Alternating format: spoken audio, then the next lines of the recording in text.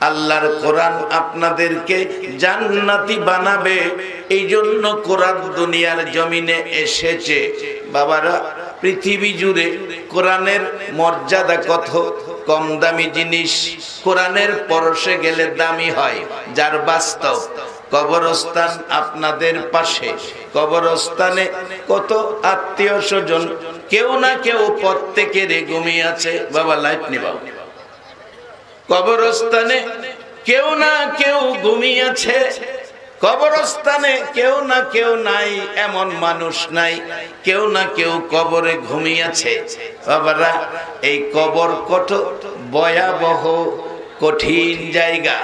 এই ভয়াবহ কবরস্থানে যারা ঘুমিয়েছে, অনেক সময় বাবাকে মাটি দিলেন, দেড় সাদা কাফনের কাপড় বেশি হয়ে গেছে। কাপড়টা ঘরে বাবা গুরুস্থানে। রাত্রে বাচ্চাটা ঘুম থেকে উঠে সাদা কাফনটা দেখে চিৎকার মারছে। মা গো, বাবা ঘরে আইসা পড়ছে। বাবা কই তোর মা গুরুস্থানে ঘরে আসলো কেমনে? মা ডাকতেছে মা ডাকতেছে, তোর বাবা গুরুস্থানে ঘরে আসলো কেমনে? ওই যে সাদা দেখা যায়, এই তো তোর বাবার কাফনের কাপড়ের অংশ। বাতি জ্বালাইছে, এই যে দেখ সাদা কাফন। বাচ্চা বলছে, মা বাতি নিবাইও না, ভয় পায়, বাবার কথা মনে হইয়া যায়, বাতি নিবাইল না। সকালবেলা মা এই দেড় গজ কাপুর মসজিদে পাঠাইয়া দিলেন। মসজিদের ইমাম সাহেব এই নিয়ে দুইটা কোরআনের গিলাপ বানাইলো। এক ব্যক্তি কোরআন পড়তে আসছে, সাদা কাফনের কাপড়ের গিলাপ কোরআনের এই কোরআনের গিলাপ খুলে ভদ্রলোক কোরআন পড়তে চাচ্ছে। হাত থেকে কাপড়টা পরে পায়ের মধ্যে লাগছে। কাফনের কাপড়ের গিলাপ কোরআনের সাথে ছিল, পায়ে লাগার ফলে সত্য কথা বলবেন, কাফনের কাপড়ের গিলাফের মধ্যে পায়ে লাগার কারণে সুমা দিছে কিনা? কাফনের কাপড়টা সুমার উপযুক্ত হইল। কার সাথে থাইকা? একবার বলেন, আল্লাহ মানুষ দুর্বল করে বানাইছে, নিরস জিনিস দিয়া। আল্লাহ বলছেন, কিন্তু নিরস মানুষ সরস হওয়ার জন্য আল্লাহ কোরআন পাঠাইয়া দিছেন। কোরআনের পক্ষে যারা বসবে, তারা জিব্রাইল ফেরেস্তার চেয়েও দামি হয়ে যাবে। কীভাবে হবে? আসুন বাস্তবতায় যাই। আমরা বাস্তবটা ভালো বুঝি। হজরত মালিক ইবনে দিনারের জীবনীর মধ্যে ঘটনাটা হজরত মালিক ইবনে দিনারের জমনায় এক বেসারা আগুনের পূজা করে দুই ভাই। দুই ভাই আগুনের পূজা করে, তখন আগুন পূজা বেশি করত মানুষেরা। আগুনের পূজা করে এক ভাই ষাট বছর হলো পূজা করছে, আর এক ভাই ছোট তিরিশ বছর। দুই ভাই মিলে পরামর্শ করলেন, ভাই, আমরা যে আগুনের পূজা করি, আগুন কি আমাদেরকে রেহাই দিবে? বড় ভাই ক তাহলে লও একটা পরীক্ষা করি। কি পরীক্ষা? আগুন জ্বালিয়ে আমরা দেখি আগুনে আমরা রে ভিতরে গেলে জ্বালাই কিনা। আচ্ছা আপনারা একটা ইমানি শক্তিতে বলবেন, আগুনের পূজা করে কেউ যদি আগুনের ভিতরে যায়, আগুনে কি তারে ফুরবো না ছাড়বো? এই ইমানদাররা, বলেন। বিশ্বাস না হোক গিয়া দেহ দুই ভাই মিলে আগুন জ্বালাইছে। আগুনের ভিতরে যাইব ফুরে কিনা পরীক্ষা করার জন্য। যাইব দূরের কথা কাছেই যাইতে পারে না, আগুনের এত তাপ। কোরআনে আসছে ইব্রাহিম আলাইসাল্লাম আগুনে ফালাইব নমরুদ। এত বিশাল আগুন জ্বালিয়েছে যে আগুনের জিব্বাটা সাড়ে চার হাজার ফিট উপরে। নমরুদ ইব্রাহিম আলাইসাল্লামকে ফালাইব দূরের কথা, নিজেই কাছে যাইতে পারে না। কি করি কি করি, কেমনে আগুনে ফালাই, কেমনে আগুনে ফালাই? এই সুযোগে একজন বড় জ্ঞানী গুণী, যার নাম ইবলিশ শয়তান। খুব জ্ঞানী তাই, অনেক জ্ঞানী, অনেক গুণী ইবলিশ শয়তান। তাই একেবারে বড় বুজুর্গ মুরব্বী সাইজা আইছে, আইসা বলতেছে, নমরুদ কি নিয়ে টেনশন করো? ইব্রাহিম নবীকে আগুন ফালামু জ্বালাইছি আগুন, কাছেও যাইতে পারি না। চিন্তা করিও না, আগুন ফালানের পরামর্শের জন্য আমার অনেক জ্ঞান আছে।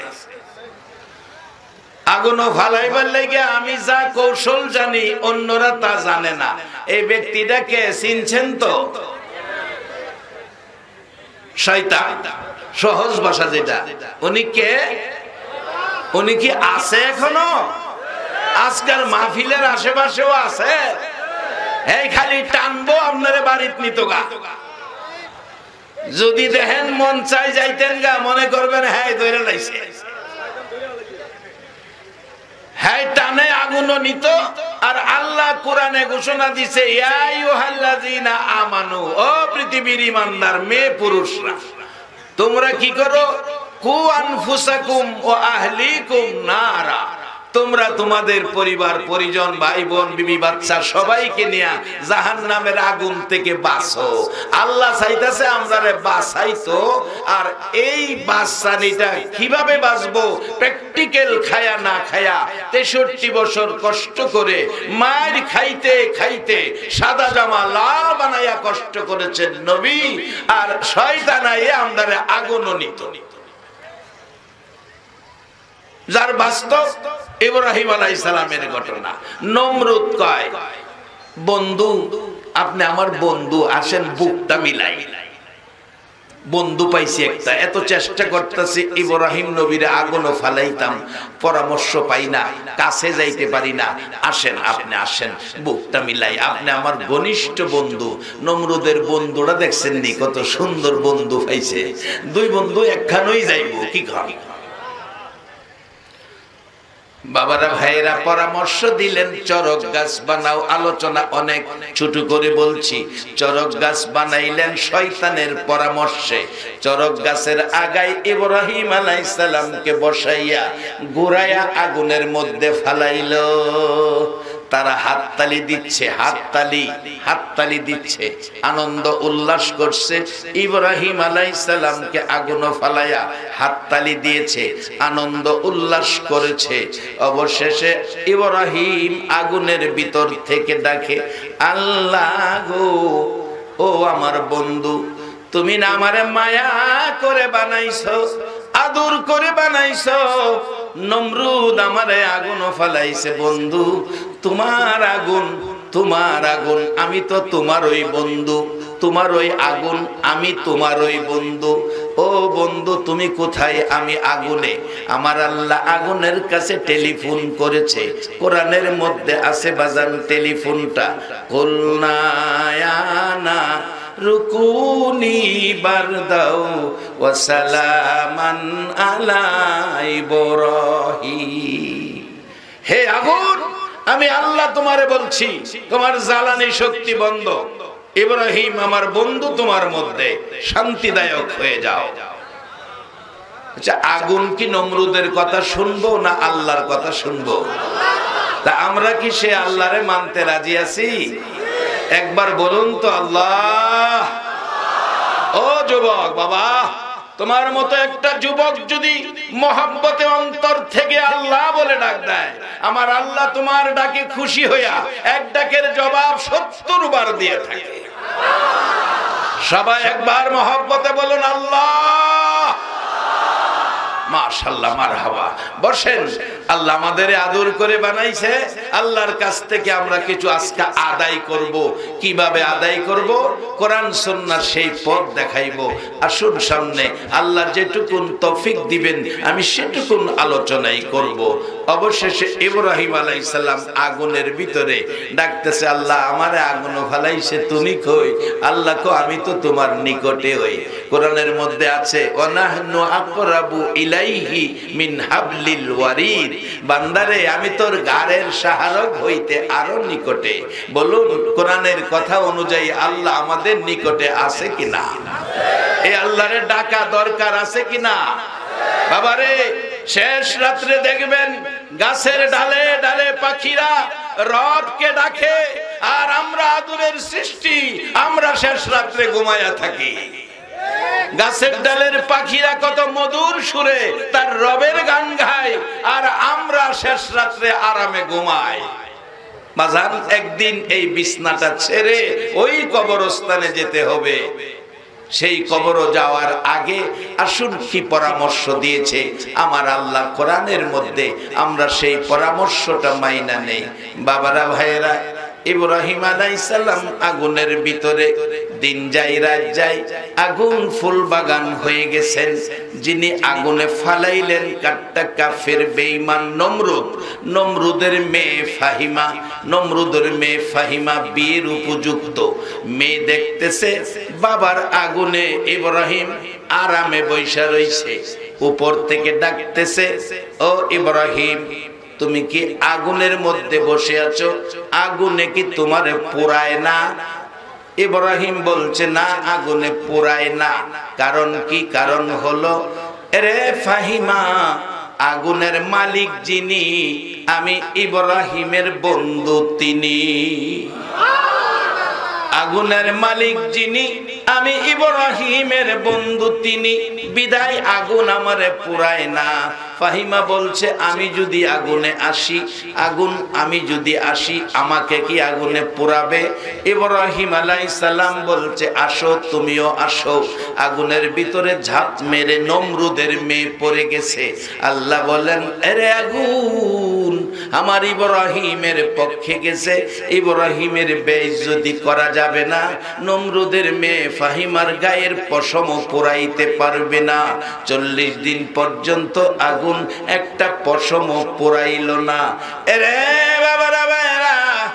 ইব্রাহিম নবীর পক্ষে গেলে নমরুদের আগুন যদি নমরুদের মেয়ে ফাহিমারে পোড়ায় না যেই নবীর উসিলায় কুল কায়নাত, সেই নবীর উম্মত হইয়া যারা কোরআনের পক্ষে বসে আছো গো, বলুন আমার আল্লাহ কি আগুন থেকে বাঁচাইয়া রাখতে পারে না? আসুন সামনে কীভাবে বাঁচাবে? এবার আখিরি নবীর উম্মতের বেলায় এসে গেলাম, এবার নমরুদ নমরুদের মেয়ে আগুনে খবর নমরুদের কাছে পৌঁছলো। নমরুদ সিদ্ধান্ত দিয়ে দিল, বিচারপতি হইয়া আগুন থেকে বাহির হলে আমার মেয়ে ফাহিমাকে উলঙ্গ করে উলঙ্গ করে তরবারির আগাতে দুই টুকরা করে দিবা। চল্লিশ দিন পর বাহির হলো আগুন থেকে ইব্রাহিম আলাইসাল্লাম বাহির হলো ফাহিমা। নমরুদের সঙ্গ ফাঙ্গরা। ওই ফাহিমাকে ধরে জল্লাদকে ডাকলেন, তরবারি নিয়ে প্রস্তুত। জল্লাদকে ডেকে হুকুম দিলেন, কাপড় খুলে উলঙ্গ করে দুই টুকরা করো। জল্লাদ প্রস্তুত আঘাত করবে, আর সাঙ্গ ফাঙ্গরা ফাহিমার কাপুরে ধরে টানতেছে খোলার জন্য। ফাহিমা কান্দে, আর ডাকে, মাবুদ গো, তোমার খলিল ইব্রাহিমের পক্ষে থাকার কারণে আগুনের ভিতরে আমাকে হেফাজতে রাখছো। একটা পশম পোড়ায় নাই, আগুনে সম্মান করেছে আমাকে। মাবুদ, আগুন থেকে বাঁচাইছো। তুমি কি আমার বাবার সাঙ্গ ফাঙ্গদের হাত থেকে থেকে তুমি না? আমার আল্লাহ ডাকে জিব্রাইল রে, জান্নাতের দরজাটা খুলে দে, জান্নাত থেকে ফাহিমার জন্য কাপুরের বাজেট করে দে। জিব্রাইল, ফাহিমার পরম থেকে কাপড়গুলো টাইনা খুলতেছে, বেইজ্জতি হওয়ার আগে, বেপর্দা হওয়ার আগে আগে জান্নাত থেকে ফাহিমারে রেশমি কাপড় পরাইয়া দে। একটা কাপড় খুলেছে একটা জান্নাতি রেশমি কাপড় পরাইয়া দিছে, এটা খুলেছে আর একটা পরাইয়া দিছে, সত্তরটা কাপড় খুলেছে। নমরুদের দলের লোকেরা আর আল্লাহর ফেরেস তারা সত্তরটা কাপড় পরাইয়া দিছে। বাবারা, ভাইয়েরা, ইব্রাহিমের পক্ষে গেলে নমরুদের মেয়ে জান্নাতি পোশাক পাই, আখিরি নবীর উম্মত যদি হয়, এর চেয়ে দামি বাসেট আমরা পাইব কিনা? আজকের মাজলিসের কথা আমার নবী হাদিস শরীফের মধ্যে বলেছেন, মাজলিসু ফিকহিন খায়রুম মিন ইবাদাতি সিত্তিনা সানা। এই কোরআন সুন্নাহর এক মাজলিসের মেহমানের জন্য আমার আল্লাহ 60 বছর ইবাদতের চেয়ে বেশি নেকি দান করে দিয়েছে। যে উম্মতের জন্য মানায় বাবা নাই নবীজি তেষট্টি বছর জিন্দিগি চোখের পানি বন্ধ হয় নাই। দিনের আইতে যে উম্মতের জন্য আমার নবী কাঁদছে, সেই নবীর উম্মত যারা হয়েছি, বলুন আল্লাহর কাছ থেকে বড় বড় পুরস্কার আমরা পাবো কিনা? এই নবীর দোয়া কবুল করেছে আল্লাহ, নবীর ডাক শুনেছে আল্লাহ, যার বাস্তব এখানে অনেক আলেম ওলামারা সম্মানী ব্যক্তি বর্গগণ আছেন। একজন আলেমের দাম অত্যন্ত বেশি। হাদিস শরীফের মধ্যে রাসুল বলেছেন, আল উলামাউ ওয়ারাসাতুল আম্বিয়া। নবী বলেছেন, আমার উম্মতের আলেম দের মর্যাদা, আলেমদের মর্যাদা কত? আমার উম্মতের আলেমরা আমি নবীর ওয়ারেস। আরেক হাদিসে বলেছেন ওলামা ও উম্মতি কা বনি ইসরাইল। আমার আলেম উম্মতগণ বনি ইসরাইলের পয়গাম্বরদের মতো সম্মানী। একবার বলুন আল্লাহু আকবার। রে বাবারা ভাইরা আমরা সেই নবীর উম্মত। আমার নবী যা কইতেন আমার আল্লাহ তাই শুনতেন। তেষট্টি বছর জিন্দিগি চোখের পানি ছেড়ে ছেড়ে আপনার আমার মতো উম্মতের মায়াই কাচ্ছেন আর কান্না নবী আল্লাহ কবুল করেন, যার বাস্তব। নবীজির একজন সাহাবি, যার নাম আব্দুর রহমান মাসুর সাহাবি আব্দুর রহমান, উনি বিড়ালের বাচ্চা পালতেন, বিড়ালের বাচ্চা। বিড়ালের বাচ্চা কুলে লইয়া খেলাধুলা করতেন। একদিন নবীজির সামনে পড়ে গেছে আব্দুর রহমান, বিড়ালের বাচ্চা কুলে। আমার নবী দেখে বলে ফেলছেন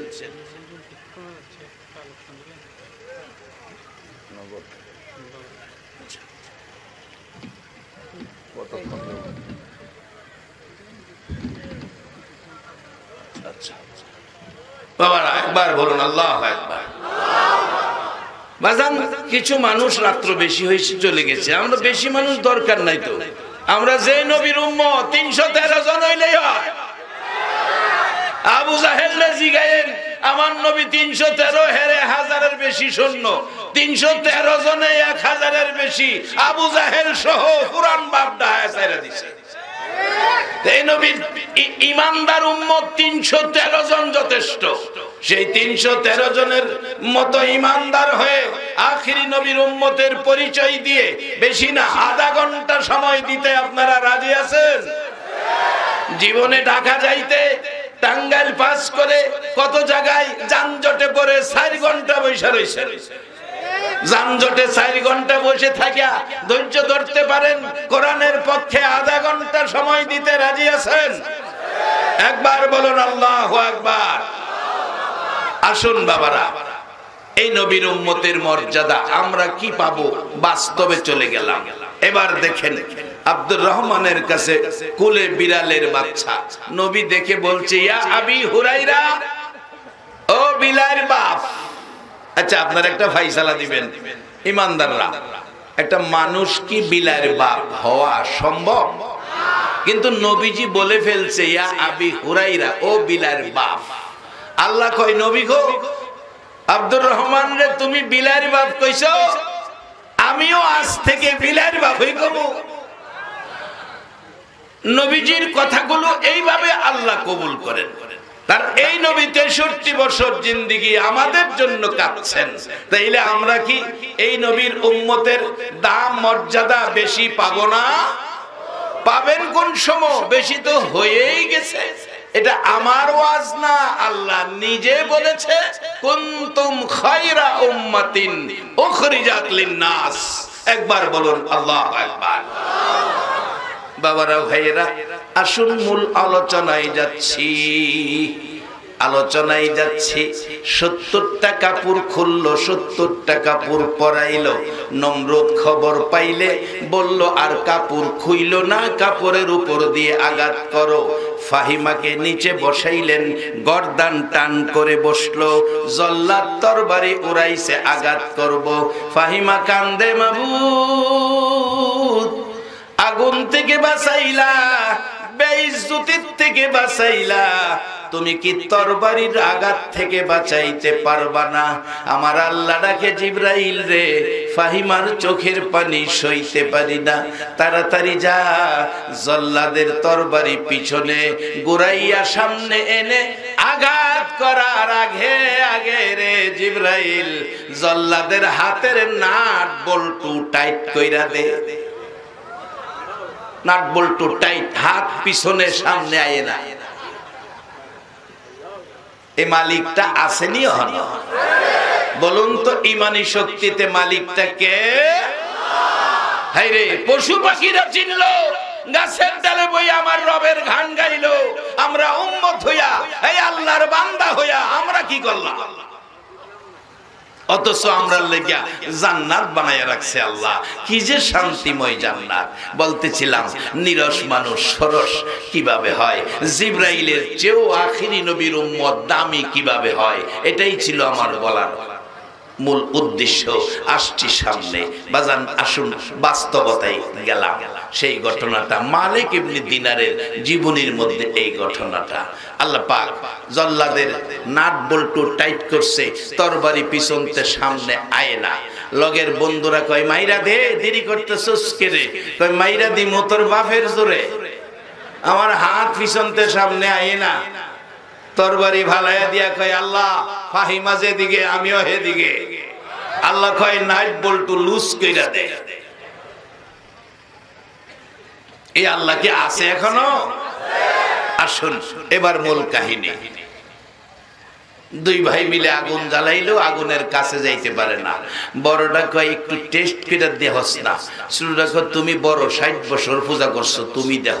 কয়, না, তুই দেখ, আমার ভয় করে। শুরুটা চালাক, সারা শরীর দিছে না, আঙ্গুলটা আগুনও ঢুকাইছে। আচ্ছা বলেন তো, আঙ্গুল ঢুকাইলে আগুনে কি ছাড়বো না ফুরবো? আগুন, আঙ্গুল তো ফুইরা দিছে। না না, আর আগুনের সাথে সম্পর্ক নাই।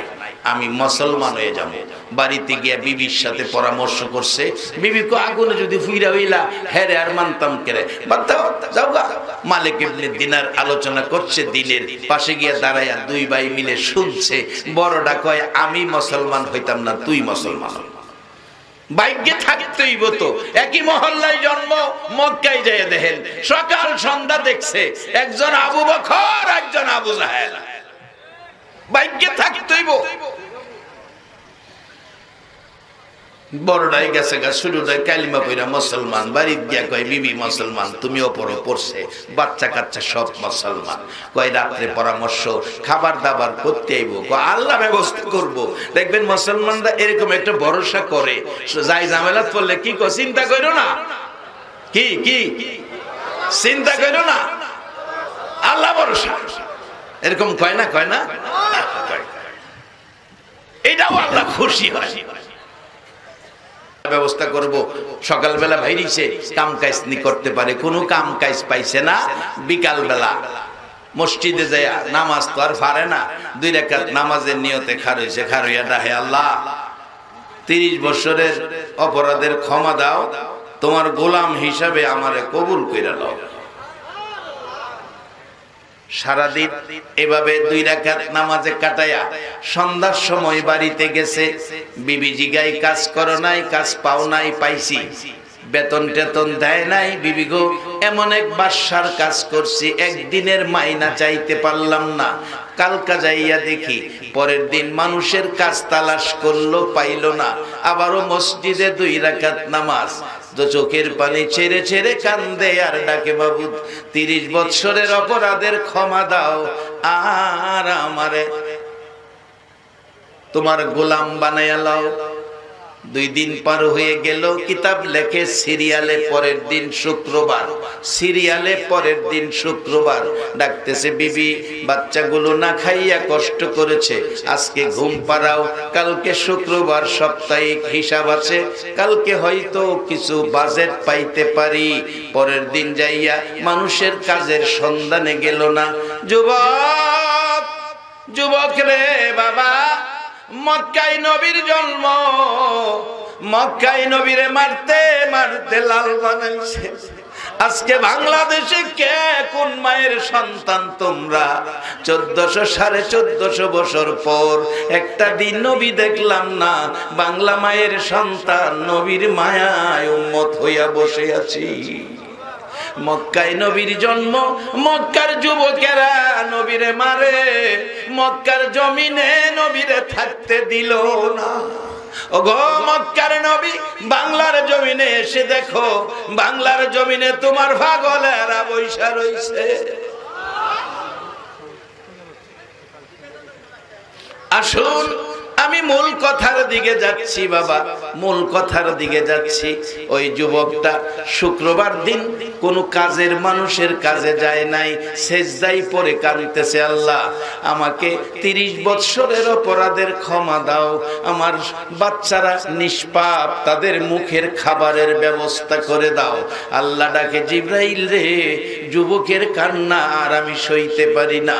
জান্নাতের দরজাটা খুলো, একটা স্বর্ণের প্লেট লও, একটা স্বর্ণের প্লেট লও, এক হাজার স্বর্ণ মুদ্রা এর মধ্যে দাও, জান্নাতি রুমালে প্যাকেট করে, জিব্রাইল, তুমি নিজে ওই যুবকের বাড়িতে পৌঁছাইয়া দাও। এই নবীর উম্মত নামাজ পড়বে, সেজদাই পরে কাঁদবে, আর জিব্রাইল তার বিনিময় বাড়িতে পৌঁছাইয়া দিবে। এতে বোঝা যায় এই নবীর একজন নামাজি নেককার উম্মতের দাম। জিব্রাইল ফেরেশতার চেয়েও বেশি। জিব্রাইল মানুষ রূপে যাইয়া ডাকতেছে, মা মা মা, দরজা খুলো। ঘরে মহিলা কাঁদছে আর বলছে, বাবারে, কে মা ডাকো? কিছু চাইবি, কিছু খাইবি? আজকে তিন দিন হলো আমার চুলায় আগুন জ্বলে না। কিছুই নাই। জিব্রাইল মানুষ বেশি বলছে, মাগো, খাইতে আসি নাই, চাইতে আসি নাই, কিছু দিতে আসছি। তোমার স্বামী যে বাদশার গোলামি করছে, সেই বাদশাহ দুই দিনের মজুরি পাঠাইছে। কয় দিনের মজুরি? দুই দিনের মেয়ে দরজা খুলছে মহিলা। দেখি সুন্দর একটা যুবক মাথায় বুঝা নামায়া দেখে এক হাজার স্বর্ণ মুদ্রা, স্বর্ণের প্লেট। তখন রূপার টাকার প্রচলন ছিল, একটা রূপার টাকা। রূপার টাকার প্রচলন তখন ছিল, একটা স্বর্ণ মুদ্রা ভাঙ্গাইয়া একশো রূপার টাকাই না। বা বাজার করে রান্না বাড়া করতেছে, যুবক নামাজ শেষ, জুমার নামাজ পড়ল, বিকালেও নামাজে দাঁড়াইয়া রইল, ভাবতেছে, আজকা খালি হাতে কেমনে যাব? এই সাথে রুমাল ছিল, রুমালের বস্তা বানাইয়া ভিতরে বালু ভরছে, বালু। বালু বইরা মাথায় লই আইতাছে, বুঝাইতাছে, আজকা মালিকে দিছে। কাছাকাছি যাইয়া দেহে ঘরের থেকে রান্নার মজার গন্ধ আইতাছে। যদি রান্না বাড়া হইয়া থাকে, বালু নিয়া লাভ কি? বাইরে রাইকে গড় ঢুকছে, বিবি রান্না বাড়া হইছে হ করতে পাইলা? তুমি যে এই বাদশার গোলামি করছ এই বাদশা দুই দিনের মজুরি দিছে। দেহ কতগুলি মজুরি। এবার চোখের পানি ছেড়ে দিছে যুবক। বিবি, এটা কোন বাদশা চিননি? এ বাদশা হলো রে আমার আল্লাহ।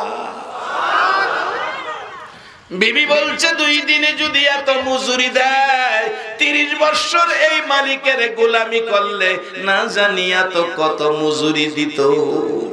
বিবি বলেন, আমিও আজ থেকে সেই বাদশার গোলামি করব। মাঘো মেয়ে লোকেরা, তোমরাও আমার আল্লাহর গোলামি কইর। তোমরাও সেই বাজে আনতে পারবা। লম্বা ঘটনা শেষ করে দিচ্ছি। এবার যুবকটা বলছে, বিবি, জুমার দিনের মজুরি নিতে হবে। এসে জুমার দিনের মজুরি নাও। বাহিরে লইয়া গেছে, এই বস্তার ভিতরে জুমার দিনের মজুরি। বলুন, বস্তার ভিতরে কি আছিল? বালু। বলছে, এটার মধ্যে জুমার দিনের মজুরি। বিবি বলছে, এত জুমার দিনেও পাইছি, কত লাভজনক ব্যাপার। এবার বাস্তার বস্তার বান খুলতেছে। যুবক অন্তরে অন্তরে কানতেছে আর ডাকতেছে, মাবুদ রে, জুমার দিনের বেইজ্জতি কইর না, জুমার দিনের ইজ্জত তুমি রাইখো। আমার আল্লাহ বলেন, জিব্রাইল তুই যাই অবস্থায় হাত লাগাইয়া দে। আমি আল্লাহর কুদরতের ধাক্কা মাইরা দিলাম। মহিলাটা বান খুইলা দেখে বস্তার ভিতরে সাদা আটাই ভর্তি। বলুন এই আল্লাহ এখনও আছে কিনা?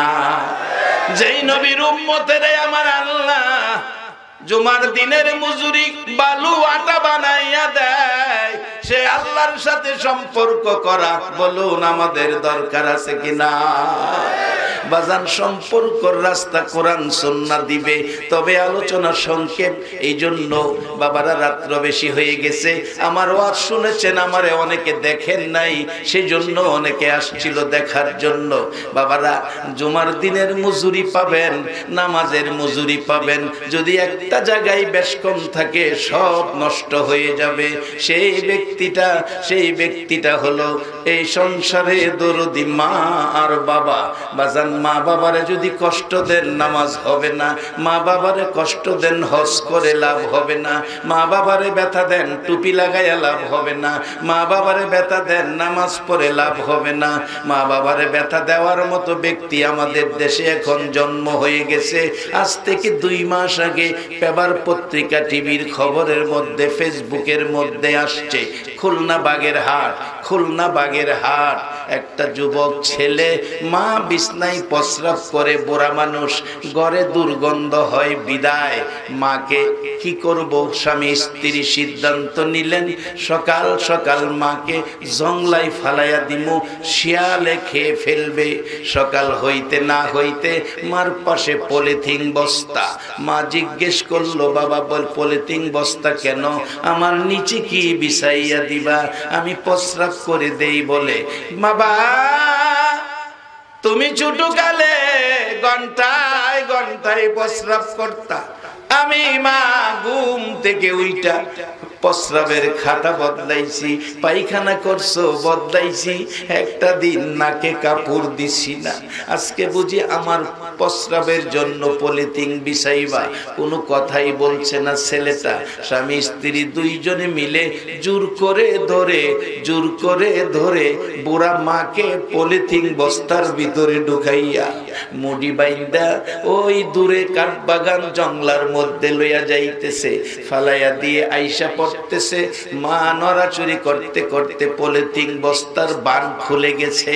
মাথাটা বের করে ডাকতেছে, বাবা বাবা গো, আমি কি তোমার প্রস্রাব পায়খানা পরিষ্কার করছি না? জীবনে কোনো দিন আমি মা নাকে কাপড় দেই নাই। বাবা, আমার রাইখা চলে যাইতেছ। দুঃখ নাই, ব্যথা নাই। মাবুদ্রে তুমি না মার দোয়া কবুল করো। আমি মা হইয়া দোয়া করে দিলাম। আমার বাবারে সহি সালামতে বাড়ি ফসাইয়া দিও। নিজে মরতে রাজি, সন্তানের মারতে রাজি না। বলুন, এই দরদিটাকে। রে বাবারা এখানে সেই কবরস্থানের কথা উল্লেখ আছে। আমি প্রশ্ন করেছিলাম, মা বাবা কার কবরে? অনেক মানুষ হাত তুলে দেখাইছেন মা বাবা কবরে। আজকে সেই মা বাবার জন্য আমার আল্লাহ কোরআনে দোয়া শিখাইছে, রব্বির হামহুমা কামা রব্বায়ানি সগীরা। রাসুল বলেছেন তোমার মা বাবা তোমার জান্নাত মা বাবা তোমার জাহান্নাম মা বাবা তোমার মক্কা মা বাবা তোমার মদিনা মা বাবার সাথে ভালো ব্যবহার কইর। এক মাহফিলে ছোট্ট একটা বাচ্চা গজল গাইতেছে জান্নাতের চেয়ে দামি আমার মা মা গো জান্নাতের চেয়ে দামি আমার মা জান্নাতের চেয়ে দামি আমার মা। বলছে নবী দু জাহা বুখারী শরীফের হাদিস আজকে সেই মা যদি কবরও থাকে, বাবা যদি কবরও থাকে, এখন দোয়া করব। আর যদি বাবা মা দুনিয়ায় থাকে, তাও দোয়া করব। রাসুল বলছে, যার মা বাবা দুনিয়ায় বেঁচে আছে, তার জান্নাতের দুইটা দরজা খোলা আছে আজকে দেখতে চাই, এ জান্নাতের দুইটা দরজা খোলা আছে, এমন সন্তান যদি থাকে, আর যার মা বাবা কবরে গেছে মা বাবা জন্য দরদ, মায়া, মহব্বত আছে, এমন একটা পরিচয় আজকের এই মাহফিলে। কারণ রাত্র বেশি হয়ে গেলে মানুষ থাকতে চায় না। কারণ আপনারা তো বসে আছেন, ক্লান্ত হয়ে গেছেন, আপনারা তো বসে আছেন, পরিবর্তন নাই। আমাদের তো বক্তা পরিবর্তন হয়, একজনের পরে একজন আসে। যেমন প্রধান অতিথি সহ অন্যান্য ব্যক্তিবর্গরা আসছেন, কথা শুনছেন, তাই আমি আপনাদের জন্য রাত্র বেশি হয়ে গেছে। আমি আসছি বেশি সময় না, তো আপনাদের জন্য রাত্র বেশি হয়ে গেছে। তাই আজকের মাহফিলের মূল উদ্দেশ্য হবে সেই মা বাবার জন্য দোয়া। আজকে মা বাবার জন্য দোয়া করব। আমি এখানে সুসন্তান কে আছে, আমি একটু দেখব কবরস্থানটা পাশে। এই রে, এই বাচ্চার আরেক বাচ্চার গজল গরুস্থানের একটু মাটি বাইনা করে রাখ। প্রত্যেকের জন্য গুরুস্থানের মাটি রেডি হয়ে গেছে। বাজান, কে কবে কবরস্থানে শুয়ে যায়, এটার গ্যারান্টি নাই। সব জিনিসের গ্যারান্টি, ওয়ারেন্টি আছে। আমরা দুনিয়ায় কতদিন থাকব, আমাদের গ্যারান্টিও নাই, ওয়ারেন্টিও নাই। তাই মা বাবার জন্য এখন দোয়া হবে। আপনারা মা বাবার জন্য দোয়ায় শরিক হতে রাজি আছেন? তাহলে এখন আমরা দোয়ার প্রস্তুতি নিচ্ছি। তার আগে এই কবরস্থানের উন্নতি কল্পে আপনাদের কাছে লোক যাবে, যার কাছে যা আছে বিসমিল্লা করে দিয়ে দিবেন। এই ভলন্টিয়ার ভাইয়েরা, বাবারা, তোমরা ভিতরে ঢুকো। একদম ভিতরে। একজন মানুষ উঠবেন না। দুইটা, চার পয়সা হলো দিবেন এই কবরস্থানে। কারণ একদিন আপনার আমার প্রত্যেকের কবরে শুইতে হবে। তারপরে আমি আপনাদেরকে নিয়ে দোয়া করব। কারণ রাত্র বেশি হয়ে গেছে। এত রাত্রে ওয়াজ করতেও ভালো লাগে না, ওয়াজ শুনতেও ভালো লাগে না। যারা দরদি কোরআন, সুন্নার পক্ষে বসে আছেন, সবাই বলুন মার হাবা বাবা, এক হাজার টাকা এক ভাই দিয়েছেন। এক কেজি লবণও চাইছে না। মা বাবার জন্য দোয়া চাইছে। দোয়া হবে মা বাবার জন্য।